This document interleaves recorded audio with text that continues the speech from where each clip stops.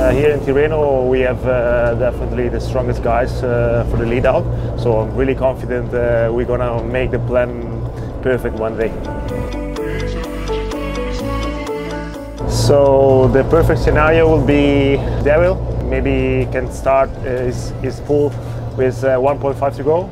I'm pretty much the start of the lead out train for our team. Um, I'm kind of the guy who guides the team into into position, and also I have to either I have to be able to judge that I can get the guards to their meter markers. But uh, really, it's a smooth turn. It's a turn that builds the team up to speed, and it's about um, taking control of the front.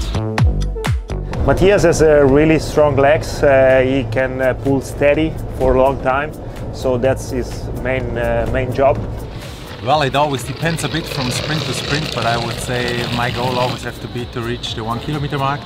That after Alex can take over, and uh, if Rick is on the wheel, uh, then he can do the lead out.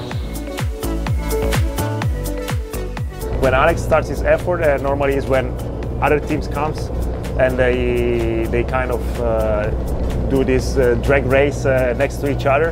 And uh, Alex sometimes, yeah, most of the times Alex shows that he is the strongest and uh, he brings us.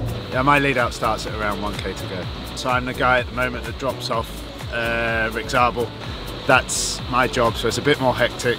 It's a shorter effort. It's generally it's like a 30 second, 30 or 40 second effort at around seven or 800 watts seated. Rick is crucial, uh, especially in the last kilometers. He has to guide the guys in front of him, uh, and which is Alex.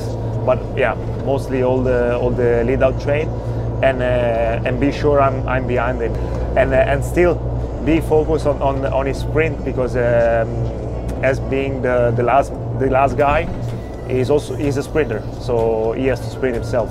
Exactly, I'm the last lead out guy, so I am a little bit the bridge between the sprinter and the yeah, two lead out guys in front of me, Alex and Matthias.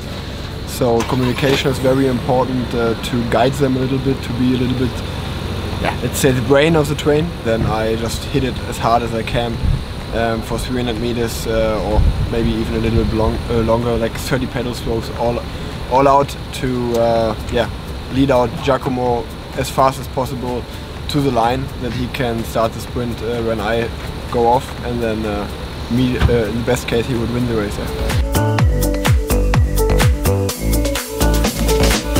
I think the, the ideal distance is changed from 200, 250 to 180, a bit shorter, because then uh, you have less chances that the other guys pass you. You really feel the spirit of the group uh, in, a, in a lead out train, and that's why when it comes to victory, everybody feels part of that.